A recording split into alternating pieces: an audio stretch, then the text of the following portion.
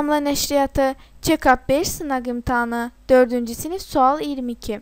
Nöqtələrin yerinə uyğun gələn ədədlər hansı bənddə düzgün ardıcıllıqla verilib?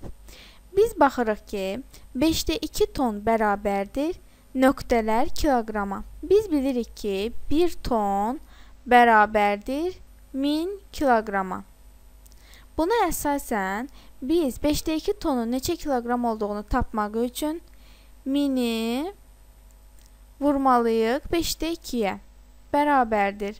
İxtisar edirik. 200. 200 vur 2 bərabərdir 400-ə. Deməli, nöqtələrin yerinə 400 yazılmalıdır. İndi isə ikinci verilənimizi hesablayaq. 2-də 1 kiloqram bərabərdir nöqtələr qrama. Biz bilirik ki, 1 kiloqram bərabərdir 1000 qrama. Və 2-də 1 kiloqramın neçə qram olduğunu tapmaq üçün 1000-i vurmalıyıq 2-də 1-ə.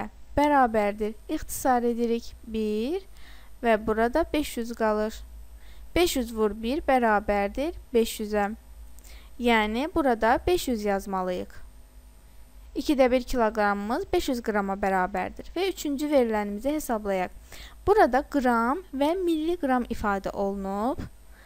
Biz bilirik ki, 1 qramımız bərabərdir 1000 milliqrama və bu, bu zaman 4-də 3 qramın neçə milliqram olduğunu hesablamaq üçün 1000-i 1000 vur 4-də 3 əməlini yerinə yetirməliyik. İxtisar edirik 1, burada yazırıq 2, 250. 250 vur 3 bərabərdir 750-yə.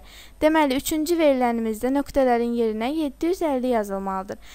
Ədədlərimiz 400, 500 və 750-dir. Bəndlərə baxırıq ki, A bəndində 400, 500 və 750 ədədləri verilmişdir, amma digər bəndlərdə bu ardıcıllıq düzgün verilməyib.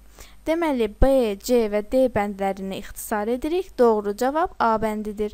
Daha çox video yükləməyimizi istəyirsinizsə, kanalımıza abunə olmağı və videolarımızı bəyənməyi unutmayın.